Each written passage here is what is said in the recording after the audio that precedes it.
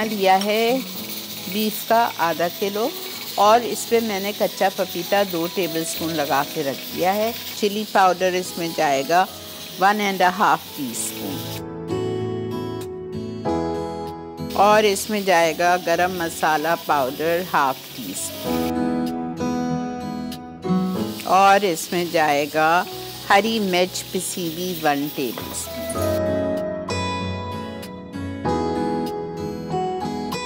लाल प्याज पिसी हुई आधा कप। उसके बाद मैं इसमें डालूँगी दही आधा कप। उसके बाद हम इसमें डालेंगे घी आधा cup.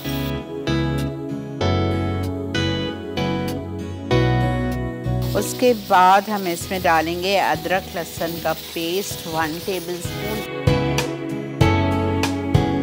Javatri quarter teaspoon जायफल टी स्पून छोटी इलायची हाफ़ टी स्पून कबाब, चीनी half teaspoon one teaspoon नमक। अब इसको आप बहुत अच्छी तरह से मिक्स करेंगे और रख दीजिए ओवरनाइट ऑलिव ऑयल घी डाल चुकी हूँ मैं, इसलिए मैं बटर नहीं डाल रही हूँ।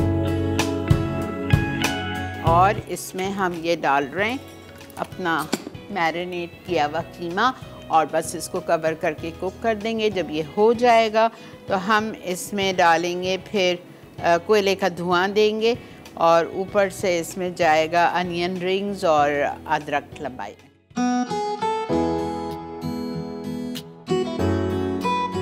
इसको आप हटा लें। मेरे पास इधर फॉइल नहीं है, वरना हम फॉइल पे रखते ठीक है? आप बिल्कुल हटा लें, कीमे पे कोयला नहीं आना चाहिए।